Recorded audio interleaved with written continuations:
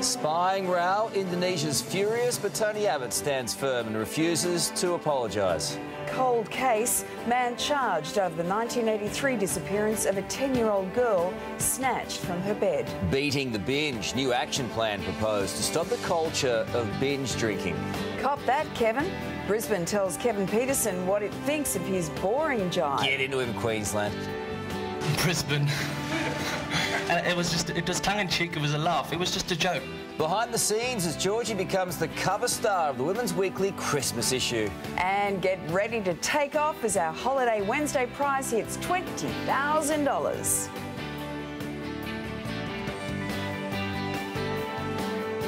And a very good morning to you all across this great country of ours. It is good to have your company this morning, and particular good morning to Kevin Pietersen this morning.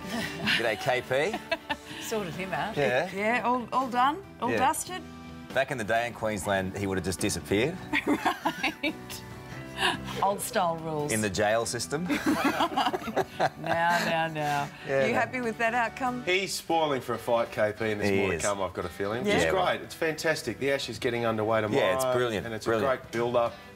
How good's life? Oh, it's brilliant. It's great. It's midweek. Good morning to you, Georgie. G. Morning, Beautiful cover of the Women's Weekly. oh, thank you, Lisa. Just gorgeous. Yeah. She gets embarrassed about this sort of stuff, but look. Christmas cover girl. What is it? Where is that dog from? It's magnificent. No, I didn't get to keep that. Didn't you? No. Isn't it a gorgeous It's dog? not real, Karl. Oh, is it It's stuffed? It's a man in a suit. Someone killed it and stuffed it. I didn't say that. I didn't say that. The Woman's Weekly. Oh, what's happened to the Woman's Weekly? Wow. Oh, yeah. Old school. Get to the bottom of that a little bit later. Good morning to you. Stop it.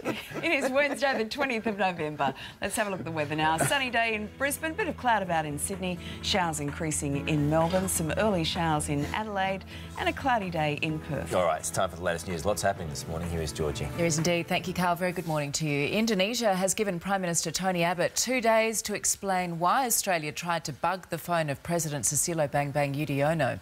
Jakarta has warned cooperation on key issues like border security and asylum seekers could be at risk over the scandal.